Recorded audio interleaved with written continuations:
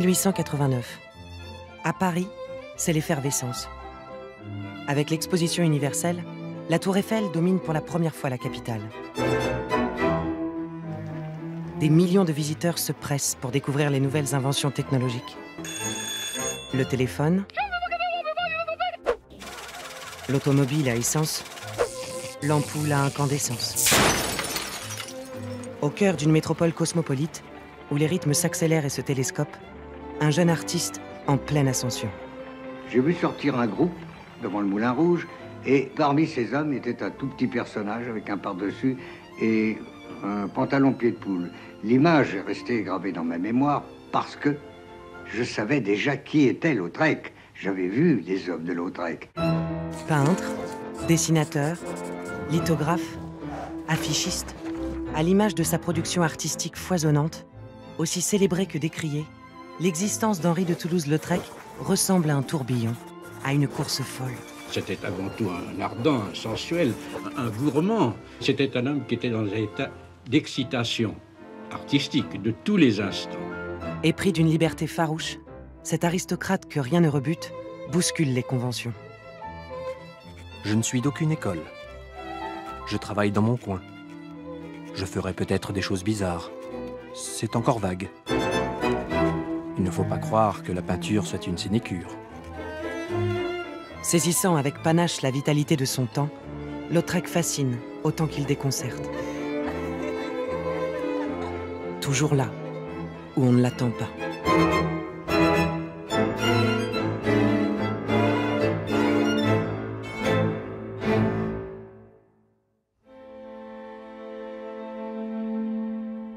En 1889, Toulouse-Lautrec est inconnu du grand public. Mais il attire déjà l'attention par l'audace de ses sujets, par son trait vif et incisif, par son imagination fertile. Un an avant la fièvre de l'exposition universelle, le jeune artiste expérimente sans relâche dans son atelier de la rue Colincourt. François Gauzy, l'un de ses amis peintres, prend la. Poser pour Lautrec était presque un plaisir. Je devais faire le simulacre de pousser une voiture d'enfant. À défaut de voiture, je posais en appuyant mes mains sur le dossier d'une chaise. Sa composition demandait cinq personnages et il n'avait qu'un modèle. Mais il se passa très bien des quatre qui lui manquaient en les dessinant de mémoire. Toute blanche parmi ses voiles, la petite communiante précédait sa mère qui, vêtue de noir et coiffée d'une capote en nid d'oiseau, donnait la main à sa gosseline, grotesque avec ses jambes maigres, ses bas blancs et ses bottines à haute tige noire. Il ajouta même un fiacre au bout de la rue et des chemises empesées à la vitrine d'une boutique. Mon par-dessus était devenu une redingote. Mon pantalon avait raccourci et mes pieds augmentés de volume. À 5 heures, le dessin était terminé. L'œuvre, jour de première communion, interpelle autant par la singularité de son sujet que par sa réalisation. Loin de l'atmosphère festive des nuits montmartroises, auquel il est trop souvent associé, Lautrec signe une chronique caustique, mais tendre, de la petite famille bourgeoise. Si le peintre se montre ironique, il sait aussi donner dans l'élégance, le raffinement. Ses huiles sur toile de bourgeois endimanchés mettent en valeur les silhouettes sveltes et longilignes de dandy, fiers de leur virilité. François Gauzy incarne quant à lui une distinction plus nonchalante par ses figures fantasmées de masculinité, Lautrec cherche-t-il à représenter l'homme qu'il aurait pu être?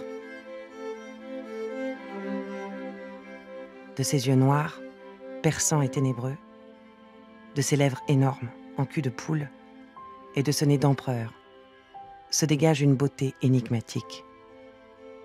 Lorsque maintenant il vous arrive de rêver à Henri de Toulouse-Lautrec, est-ce que dans vos rêves vous le voyez toujours nain? Non, je ne le vois pas nain, je vois le bel enfant dont nous parlait tant sa mère et dont les photographies au milieu desquelles nous vivons euh, font foi.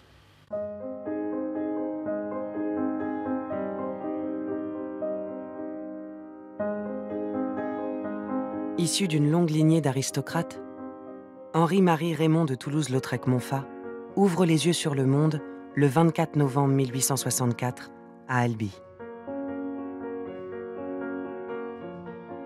Fruit d'un mariage consanguin entre la comtesse Adèle Tapier de Céléran et son cousin germain le comte Alphonse de Toulouse-Lautrec, cavalier fringant et original, passionné de fauconnerie, le jeune Henri grandit dans le cadre d'une enfance joyeuse, au contact de la nature et des animaux.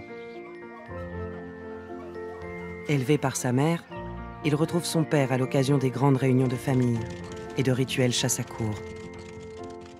Très tôt, le garçonnet se passionne pour les chevaux, qu'il apprend à monter dès l'âge de 4 ans. Henri aime à s'imaginer qu'il deviendra lui aussi, un jour, un cavalier émérite.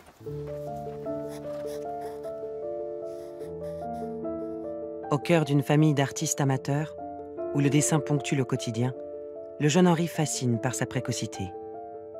Le geste est déjà précis, le trait fin, les silhouettes réalistes. Conscient du talent déjà manifeste de son fils, le comte Alphonse l'encourage à se perfectionner, aux côtés du peintre animalier et ami de famille, René Princeteau. Regardez, constamment regardez, lui conseille son mentor Princeteau. Ce regard, Henri le nourrit avec l'émulation des randonnées équestres, avec l'allégresse des écuyers, avec la frénésie des champs de course que son père lui fait découvrir. Rappelle-toi, mon fils, que la vie au grand air et au grand jour est la seule scène. Tout ce qui est privé de liberté se dénature et meurt rapidement. Mais à 13 ans, le destin bascule.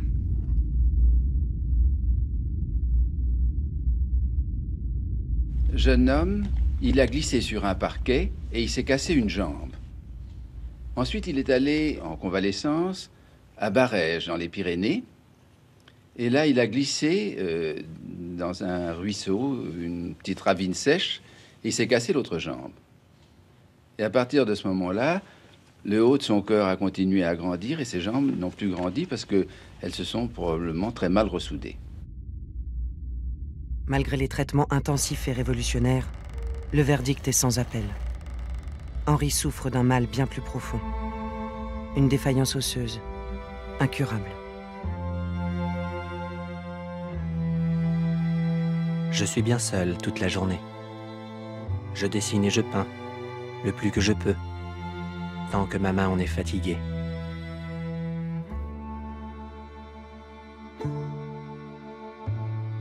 Et lorsqu'il commence à faire noir, j'attends pour savoir si Jeanne d'Armagnac viendra près de mon lit. Elle vient parfois, et je l'écoute parler, sans oser la regarder. Elle est si grande et belle. Et moi, je ne suis ni grand, ni beau.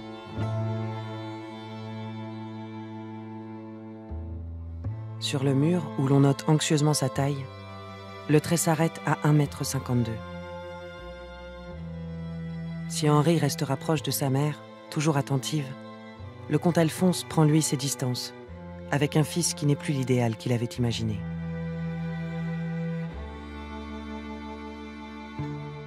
Désormais, c'est avec l'art qu'il devra s'affirmer. C'est avec l'art qu'Henri renaît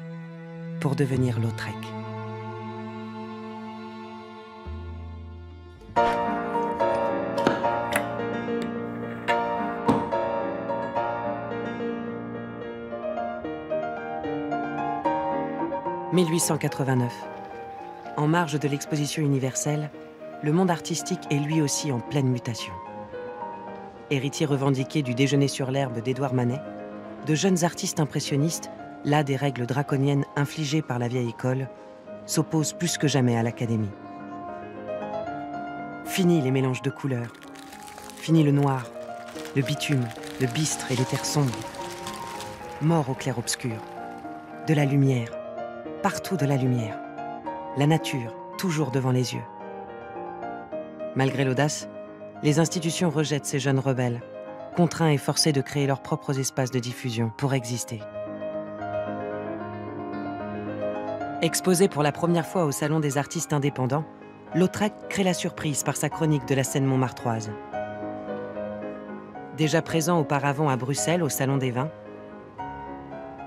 à Paris au Salon des Refusés et au Salon des Incohérents, le jeune artiste suscite rejet et admiration. Le petit bas du cul, pas mal du tout. Le bonhomme a du talent. Ma chère maman, quelle journée Mais quel succès Le salon a reçu là une gifle dont il se relèvera peut-être, mais qui donnera à réfléchir à bien des gens. Le plus grand nombre de visiteurs ont certainement reculé d'horreur en s'approchant de ses cheveux violets et de ses traits citrons qui ressemblent à un hachis de légumes. Mais qu'on s'éloigne de trois ou quatre pas, et on s'apercevra que cette barbarie apparente est calculée. Ce portrait de la comtesse Adèle Tapier de Céléran, mère de l'artiste, aussi attachant par sa quiétude que déroutant par ses couleurs vives et ses touches fragmentées, s'inscrit pleinement dans l'avant-garde picturale de l'époque. Une modernité que Lautrec atteindra pourtant après un parcours des plus classiques, commencé quelques années auparavant.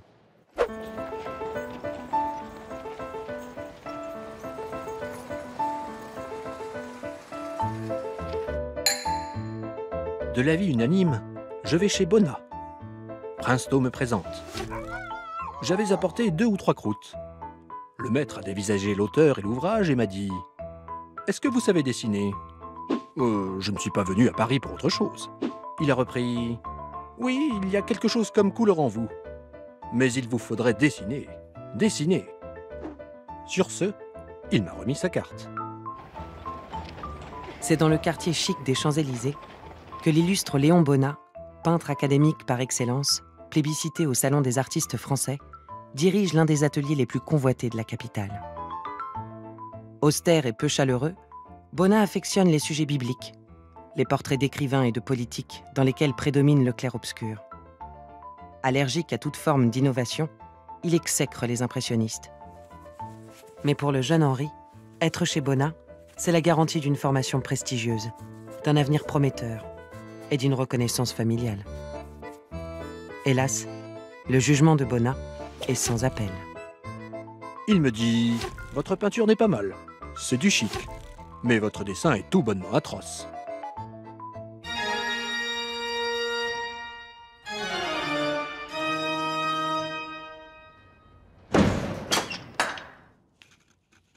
Mon cher papa, Bonnat a congédié tous ses élèves.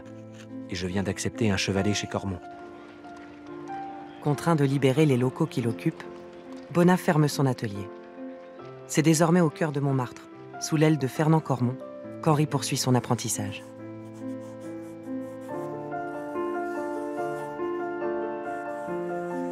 Très tôt, le mot technique entre dans son vocabulaire. Technique du fusain, technique du trait, technique du croquis. Lorsque l'envie de couleur lui prend, il utilise un calque sur lequel il peint en transparence. En résulte sur le papier gondolé, par l'excès de térébenthine, un mélange de fusain et de couleurs du plus curieux effet, qui lui permet d'anticiper le résultat final. Un procédé qu'il est seul à employer. Si mon nouveau patron n'a point encore le prestige étonnant du premier, il apporte à mon initiation toute la fraîcheur de ses illusions premières. Avec ça, on peut aller beaucoup plus loin que je n'irai probablement.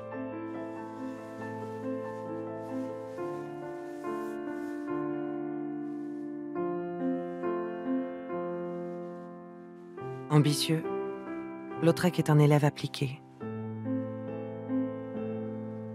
Face à un corps tout en sensualité, il révèle la pudeur de l'instant. La retenue, l'humilité de l'expression du visage. Aux antipodes des habituelles nymphes mythologiques, son étude de nu, à la tonalité églantine, se distingue déjà par l'audace de sa composition dépouillée, la finesse du trait, la douceur d'une lumière froide sur une chair cendrée.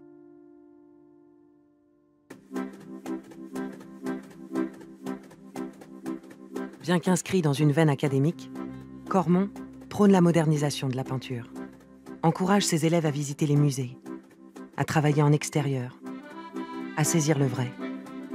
Une ouverture d'esprit qui éveille Henri de Toulouse-Lautrec.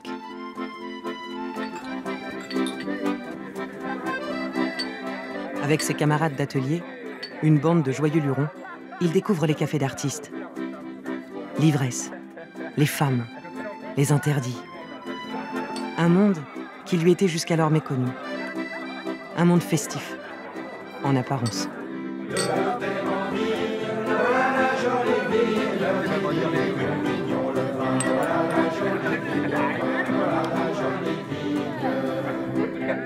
À ce moment-là, Montmartre donnait une impression euh, d'inquiétude, de danger, un danger qui n'était pas vague, parce qu'on pouvait le préciser très bien, mais ça donnait une coloration aux choses. D'ailleurs, tous les artistes de cette époque-là ont été très touchés, profondément touchés par cette atmosphère de Montmartre. Le dimanche, c'est en plein air, au Moulin de la Galette, qu'Henri aime à s'imprégner de l'ambiance populaire.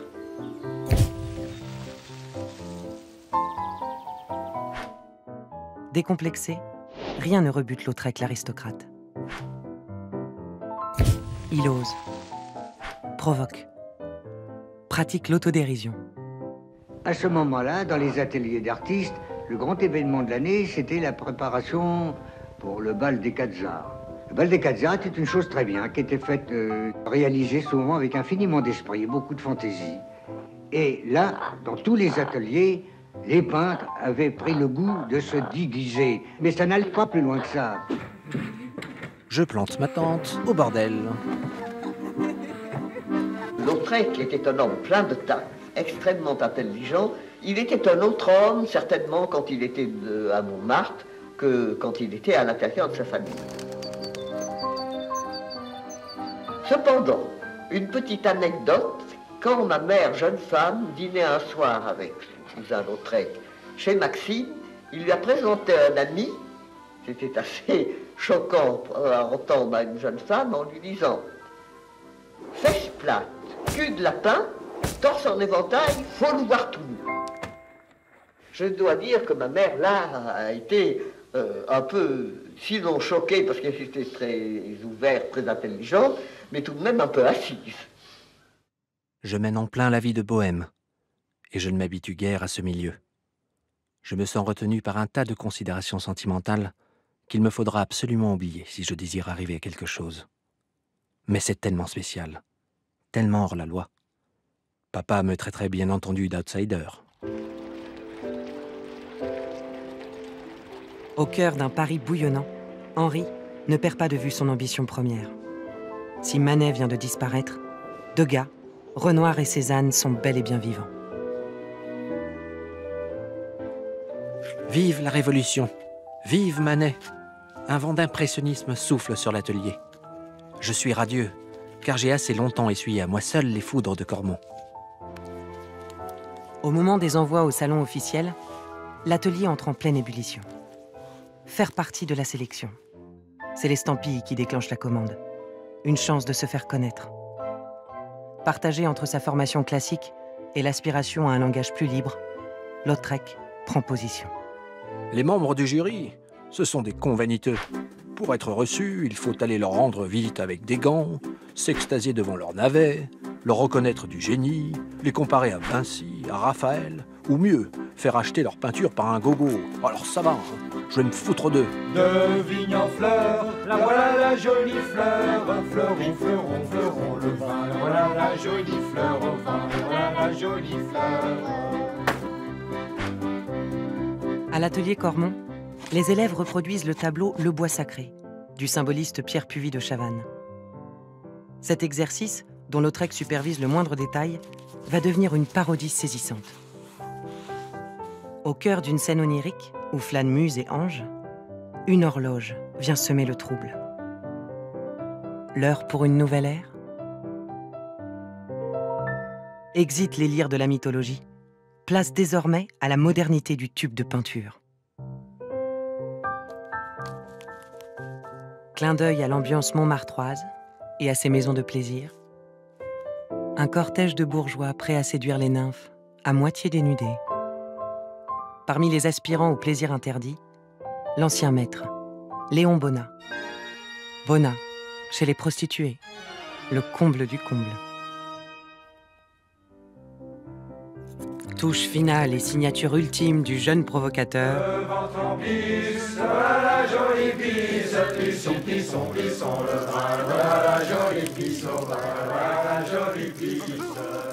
Technique du soulagement.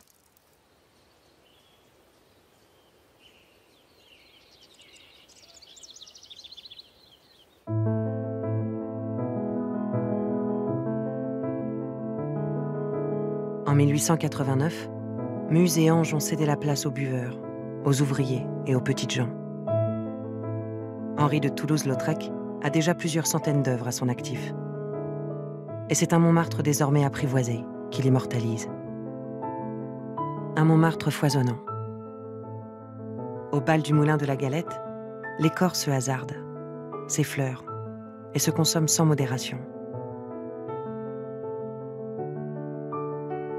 Un Montmartre épicurien, où se côtoient amateurs de bonne chair, souteneurs et filles légères.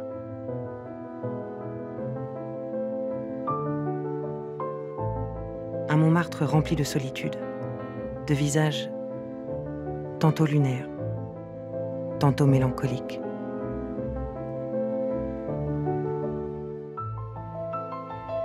Dans le calme de son atelier, Lautrec caresse du regard un Montmartre plus intime. Modeste ouvrière, croisée au détour des pavés, Carmen Godin impose par sa présence et deviendra l'un de ses modèles favoris.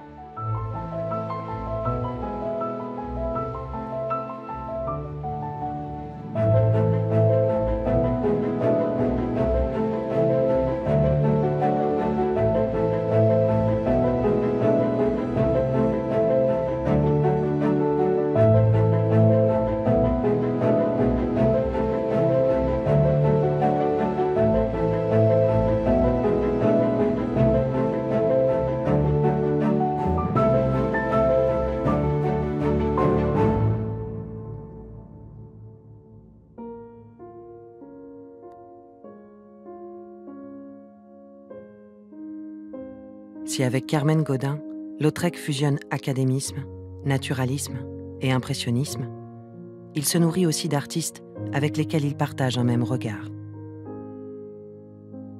S'inspirant de son ami, Jean-Louis Forain, peintre et satiriste, chroniqueur des travers de la petite bourgeoisie, Lautrec, l'aristocrate corrosif, dépeint toute l'arrogance et la fragilité d'un milieu populaire qui se croit parvenu.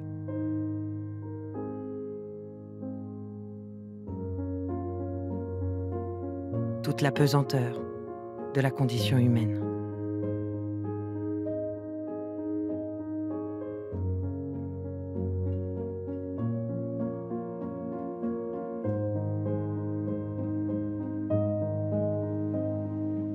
De Vincent Van Gogh, rencontré à l'atelier Cormont, Lautrec saisit toute la puissance créatrice, l'engagement absolu pour l'art. Son portrait au pastel, réalisé dans un café Montmartrois, témoigne de toute l'admiration du jeune albigeois. Du peintre impressionniste et photographe Edgar Degas, Lautrec retient la grâce du sujet, sous un angle inédit. La valse décor, l'originalité du cadrage. Dans cette époque, où la photographie définit un nouveau langage, Lautrec réinterprète avec sa palette la vérité de l'instant, de l'émotion, de l'atmosphère.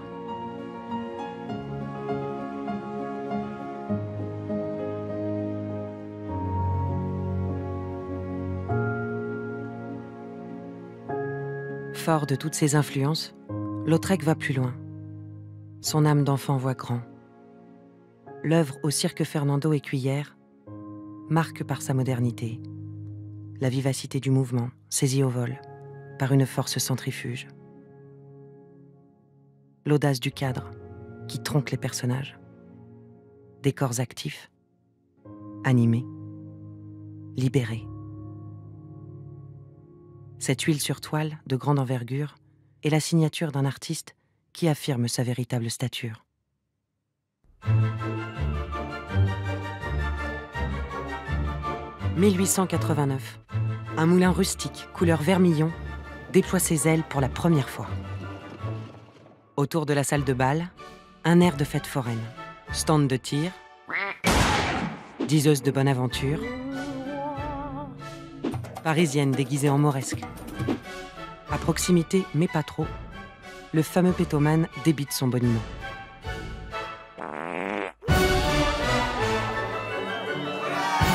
Sur la piste, casqué de ses cheveux blonds, la goulue, clou du spectacle, frétille au rythme du quadrille.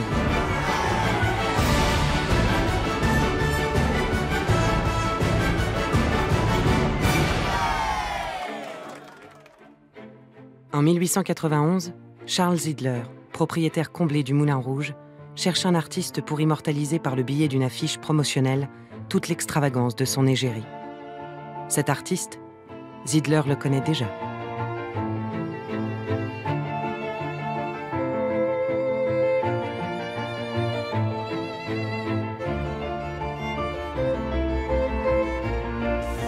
Tiré à plusieurs centaines d'exemplaires, Moulin Rouge Lagoulu, du haut de ses 1m91, envahit les murs de la capitale.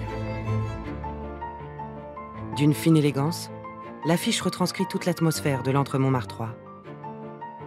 Sublimée par la circonférence d'une guirlande lumineuse, la Goulue est au centre de tous les regards.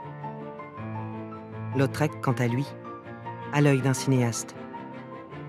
Il travaille perspective, profondeur de champ et hors champ, par juxtaposition de couleurs vives et ocre, par une ligne directrice, riche et ample. Hissé instantanément au rang de célébrité, le jeune albigeois de 27 ans impose un style, le sien. Les commandes affluent de Paris, de Bruxelles, de Londres. Toulouse-Lautrec prend sa carrière en main. Il est bien entendu que je vous cède 12 exemplaires à raison de 30 francs l'un, soit 360 francs. Envoyez-moi la note de l'encadreur de l'exposition. Puis renvoyez-moi les épreuves qui sont distraites d'un tirage numéroté. Mon tableau, la Goulue, est à vendre 600 francs. Et l'autre, 400 francs. La Goulue et l'anglais au moulin. Pour vous, 30 francs. Doit s'adresser à la maison Pour le public, 50 francs. Original. Pardon pour tous ces chiffres, mais les affaires sont les affaires.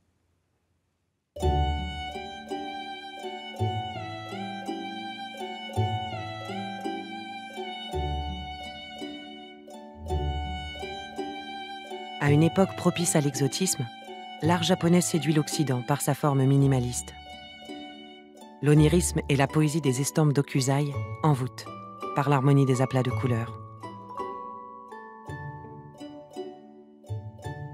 L'affiche divan japonais, dans laquelle Lautrec met en scène une autre de ses muses, la voluptueuse Jane Avril, en est le plus bel hommage.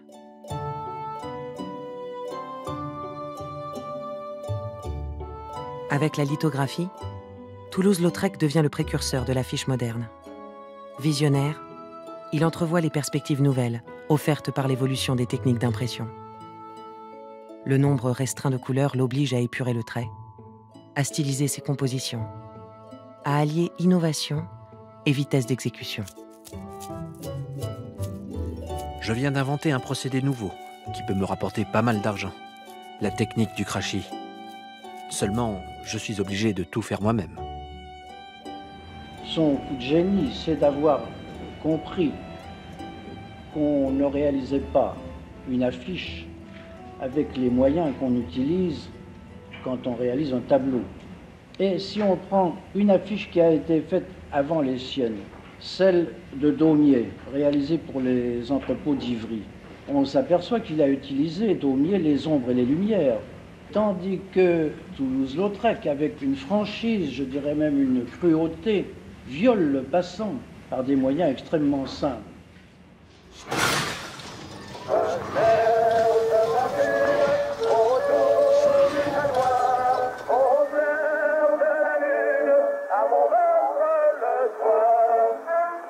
Quand Bruant a débuté aux ambassadeurs, il nous a raconté que le directeur de cet établissement avait regardé avec horreur la maquette de cette affiche. Il avait dit Comment c'est ça que vous voulez coller dans ma salle? Enlevez-moi tout ça, je ne veux pas voir. Bruant, ayant appris ça, est entré dans une rage folle, et comme il avait vraiment le sens de l'amitié et de l'autorité, il a dit au bonhomme, eh bien, si vous ne me remettez pas les affiches et si vous n'en collez pas sur les murs, je ne chante pas. Et comme il était une vedette, on lui a obéi, et aussitôt, Bruant a pavoisé les murs de Paris, unissant dans le même souvenir un grand chansonnier et un immense peintre. L'affiche façon Lautrec fait mouche. Son nom circule au cœur du monde de la nuit, du café-concert et du spectacle. Une. Un fiacre avec un cocher blanc. Avec Yvette Gilbert, nouvelle vedette aux ambassadeurs et au Moulin Rouge, Lautrec se sent pousser des ailes. On entendit des baisers. Ma chère maman, hier dans sa loge, elle m'a demandé de lui faire une affiche. C'est le plus beau succès que je pouvais rêver, car elle a été déjà interprétée par les plus célèbres, et il s'agit de faire quelque chose de très bien. La famille ne savourera pas ma joie, mais vous, c'est différent. Que monsieur de Toulouse-Lautrec voit tout en lait, cela va de soi. Mais que vous ayez accepté, Yvette, ces dessins, ce tirage vers cacadois et ces ombres portées qui vous barbouillent le nez et le menton de merde, car il n'y a pas d'autre mot, alors là, non. Lautrec a été considéré longtemps comme un caricaturiste et déformateur. Eh bien, on peut dire de lui qu'il y a eu les mêmes confusions que pour un homme qu'il admirait beaucoup d'ailleurs, qui était Daumier. Daumier, on l'a toujours pris pour un homme qui faisait des caricatures, car c'était lui aussi un homme épris du caractère, et encore plus Lautrec d'ailleurs du caractère individuel. Lui qui aimait Cranach, Holbein et qui aimait la grande peinture, et qui a passé pour un révolutionnaire, ça a été au fond un très grand classique.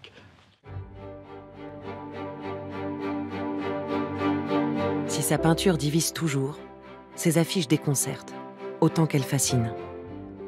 Mais Lautrec, le conquérant, n'est jamais rassasié. La rue ne lui suffit plus. À l'orée du nouveau siècle, journaux illustrés et revues satiriques sont en plein essor. Avec la presse à grand tirage, il atteint un nouveau public.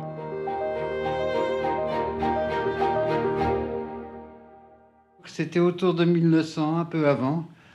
J'étais secrétaire littéraire des, éditions Hollendorf et je me trouvais dans le hall quand j'entends la caissière dire Voilà les trois barbus. Cette caissière avait vraiment l'air d'un Lautrec avec euh, des manches à gigot, des rouleaux et puis des bottines qui lui montaient jusqu'au jusqu'au mollet. Alors je regarde et je vois s'avancer comme, euh, comme des acteurs dans une opérette d'Offenbach trois hommes que je reconnais.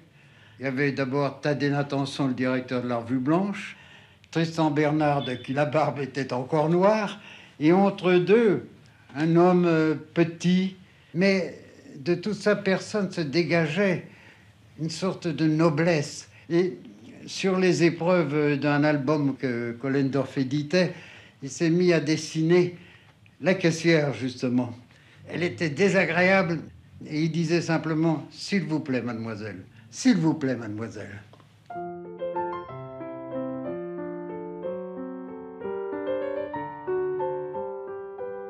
En 1893, Toulouse-Lautrec fait la connaissance du critique d'art Thaddée Natanson, alors directeur financier de la Revue Blanche, qui se positionne comme défenseur des artistes anticonformistes. Peintre, philosophe, illustrateur, poète ou écrivain, tous les anarchistes du moment s'y trouvent régulièrement publiés. C'est au cœur de cette élite intellectuelle qu'Henri trouve sa véritable famille.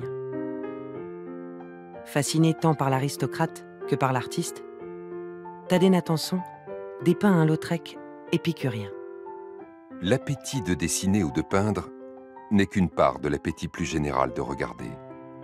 C'est chez Lautrec, mais surnaturel, le don de l'appétit d'observation. Cet appétit ou gourmandise de l'observation ne peut pas vivre non plus sans l'imagination.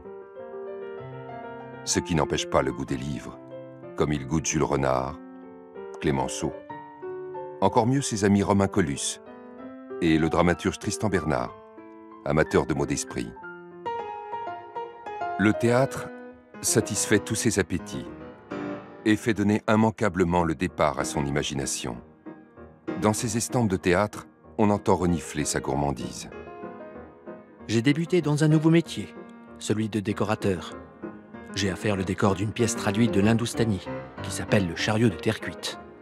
C'est fort intéressant, mais pas facile. D'ailleurs, il ne faut pas chanter avant d'avoir pondu. Désormais, c'est en compagnie de ses nouveaux amis qu'il hume à plein nez les parfums capiteux des planches parisiennes, immortalisant ainsi le phrasé si reconnaissable de la grande tragédienne Sarah Bernard. Pourquoi sans folie héros de la Grèce assembla-t-il l'élite La bonhomie du chansonnier Albert Codieux. Les déambulations de la chanteuse Marcel Lender, qui l'ovationne à 20 reprises pour en saisir toute la vérité. Elle m'a raconté, quand elle posait, Lautrec lui demandait de chanter un couplet de Chilpéric d'Hervé qu'elle jouait aux variétés. Mais ce couplet, Lautrec le lui faisait répéter, chanter, une fois, cinq fois, dix fois, cinquante fois. Et elle lui a demandé, mais monsieur Lautrec, vous ne voulez pas que je vous chante d'autres couplets? Ah, mais non, ça me gênerait. Tandis que celui-ci, je n'entends pas les paroles. Seulement, alors, pourquoi me faites-vous chanter? Ah, je vais vous le dire, mademoiselle. C'est que la peau de votre dos zizille à la lumière. Et c'est ce que je cherchais.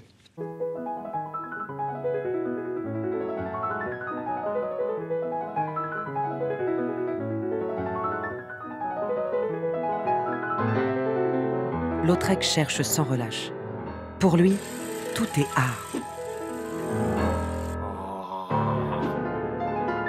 Tout est art. Tout est art.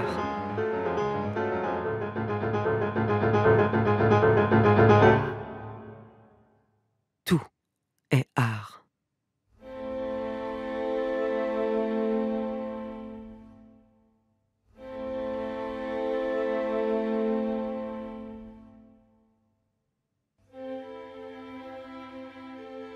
Au firmament de sa carrière, Lautrec, l'aristocrate imprévisible, longe une nouvelle fois les abîmes.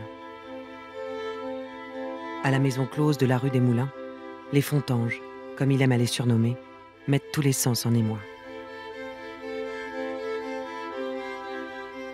Esquivant l'écueil du misérabilisme, du voyeurisme ou de la vulgarité, il saisit la nature intime et parfois cruelle de ces femmes rêveuses, en attente ou au repos, sans les juger, jamais, comme elles ne le jugeront, jamais. Au cœur de sa famille, c'est la consternation. Lautrec choque, suscite le scandale, comme l'a suscité auparavant dans le monde de l'art l'un de ses mentors, Edgar Degas. Je crois qu'il y avait chez Degas une dureté beaucoup plus grande que chez Lautrec. On avait demandé à Degas pourquoi, monsieur Degas, peignez-vous des femmes si laides? Et Degas avait dit parce qu'elles sont laides. Et il y a chez Degas cette misogynie qu'il n'y avait pas du tout au fond chez Lautrec, qui était un amoureux de la femme. Ce côté vengeance, ce côté dépression n'existait pas chez lui. Il disait il faut essayer de s'accepter tel qu'on est. Il y a tout de même dans la vie de Toulouse-Lautrec un côté qu'on peut dire raté, car les femmes qu'il a eues, il savait qu'il ne les avait que parce qu'il était déjà à Toulouse-Lautrec, euh, qu'il était riche, et peut-être quelques-unes par pitié, ce sont les pires façons d'être aimé. Vous les excluez donc? Non, je ne les exclus pas, je le- lui donne toutes les absolutions parce que je crois qu'il a tellement souffert. Lui donnant l'absolution prouve que vous le condamneriez. Non, je ne le condamne pas, je ne le condamne pas. Personne n'a le droit de condamner un, un être humain. Je lui accorde des quantités de circonstances Mais vous ne croyez pas justement que ces femmes, madame, lui ont apporté quelque chose, ont apporté Si, quelque chose à l'art Mais bien sûr, elles ont apporté quelque chose à l'art. Euh, alors c'est là euh, qu'on peut leur ouvrir des portes. Ces femmes qui jamais n'auraient pénétré chez nous, n'est-ce pas, on les admet parce qu'elles ont servi l'art de l'oncle Henri.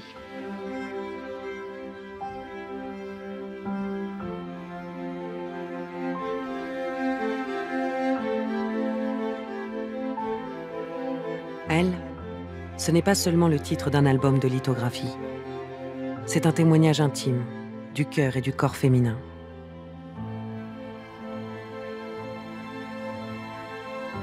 Des corps sensibles.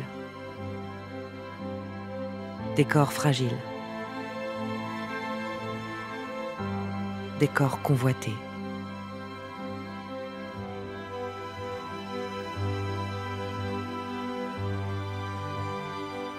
Des corps marqués par le temps qui s'écoule.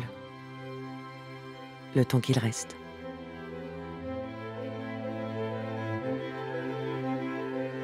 Elles, ce ne sont pas seulement deux corps féminins qui s'enlacent. Ce sont les amours secrètes, les amours saphiques. À une époque où pour s'aimer autrement, il fallait s'aimer caché. Par la franchise de son regard humaniste, Toulouse-Lautrec offense la morale bourgeoise.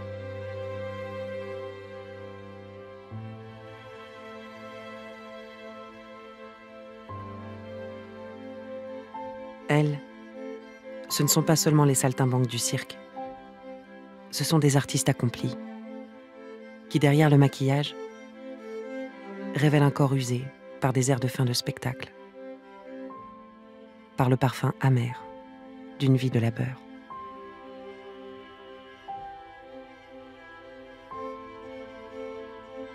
Lautrec se trouvait dans un café de Montmartre quand une vieille femme venait lui offrir des fleurs.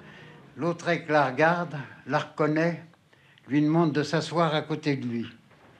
Il lui dit Mais monsieur, vous devez être quelqu'un de très important pour vous permettre de parler à une pauvre marchande de fleurs. Et cette femme, c'était Victorine Meurant, celle qui avait posé pour l'Olympia de Manet. Lautrec n'a pas voulu, a fait semblant de ne pas la reconnaître.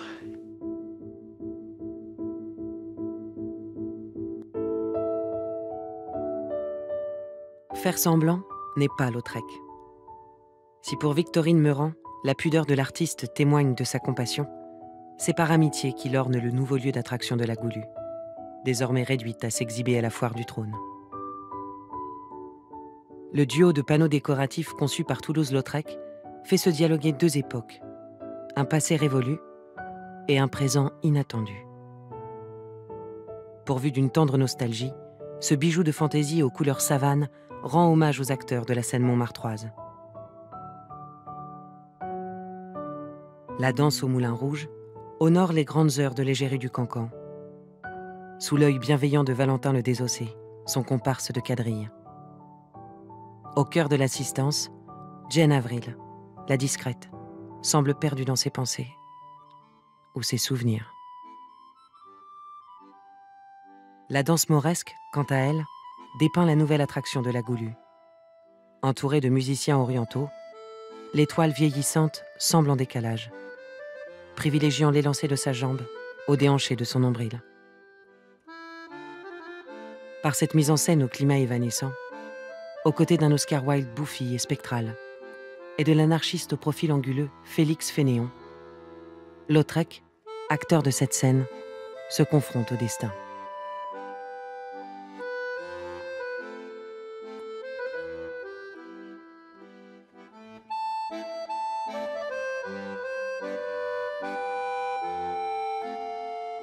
un peu aplati. Soirée vide. Je suis dans un état de lourdeur rare. Je savoure tellement ma tranquillité de l'avenue Frochot que le moindre effort m'est impossible. La pâture elle-même en souffre. Dès que j'arrivais, il me demandait de prendre la pose dans un vaste fauteuil d'osier. Il braquait alors son lorgnon sur moi, clignait des yeux prenait son pinceau et, après avoir bien vu ce qu'il voulait voir, il faisait sur sa toile quelques touches légères de peinture très délayées. Puis il reposait son pinceau et déclarait péremptoire Assez travaillé.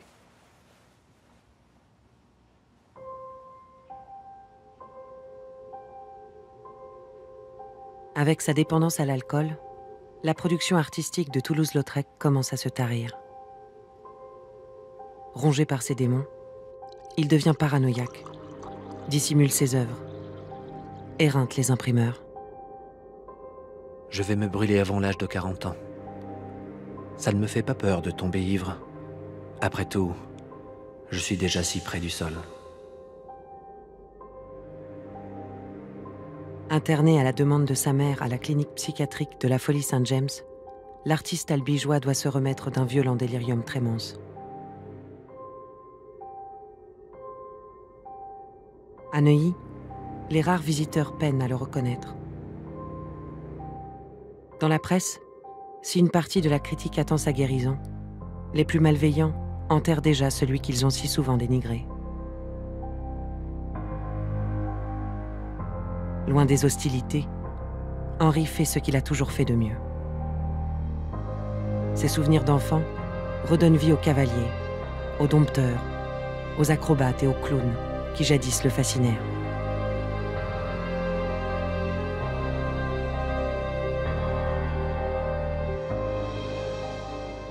Après trois mois d'internement, Lautrec regagne sa liberté. Affaibli, son unique préoccupation reste son travail. Mandaté par sa mère pour l'accompagner dans son quotidien, Paul Viau a pour mission d'éviter qu'il ne retombe dans ses excès.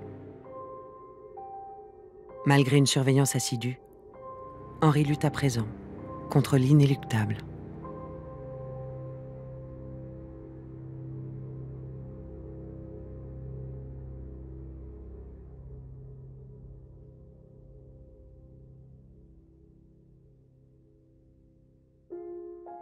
Depuis la disparition de Toulouse-Lautrec, ses dernières œuvres suscitent bien des interrogations.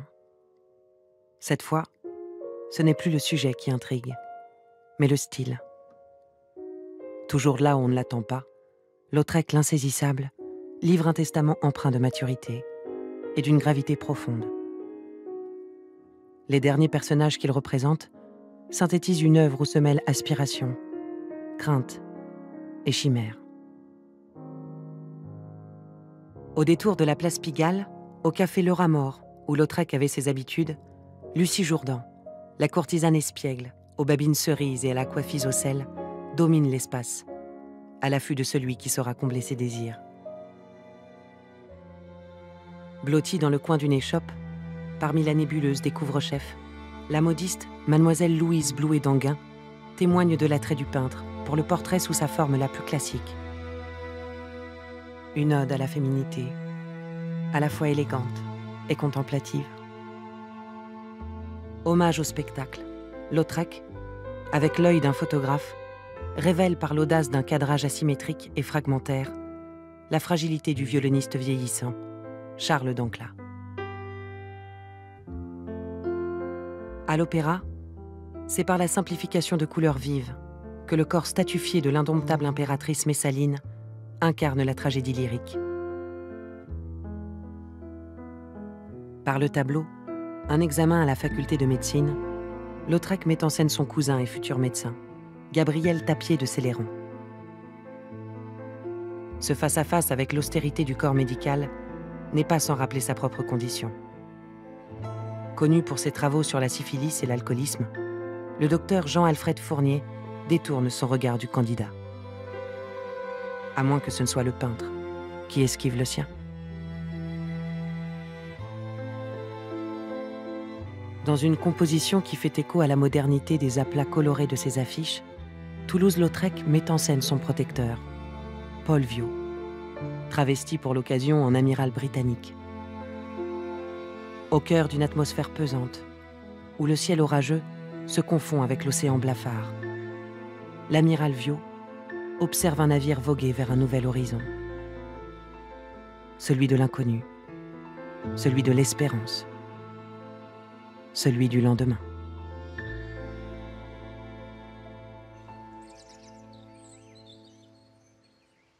Quel est le souvenir que vous avez qui situe le mieux la personnalité de Lautrec La tendresse. La tendresse pour sa mère, nous avons été élevés sur les genoux de sa mère. Euh, la tendresse pour sa mère, l'admiration profonde qu'il avait pour son père, car là, il faut détruire une fois de plus cette légende que le père et le fils ne s'aimaient pas. Ils étaient différents à cause euh, de leur physique, mais ils avaient pour l'un et l'autre un attachement incroyable et nous avons au Bosque une lettre déchirante du comte Alphonse le soir de la mort de son fils. Je l'ai vu sans qu'il puisse me voir, tant l'œil grand ouvert ne voyait plus rien. Après trois ou quatre jours de délire bon et doux, ne récriminant contre presque rien ou personne, lui qui devait tant pâtir de sa tournure. Je ne cesse de pleurer mon pauvre inoffensif Henri. Jamais dur pour son père.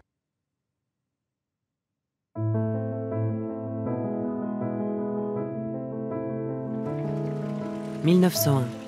À Paris, avec l'inauguration du premier salon de l'automobile, les fiacres au parfum champêtre ont laissé place au relent des pots d'échappement.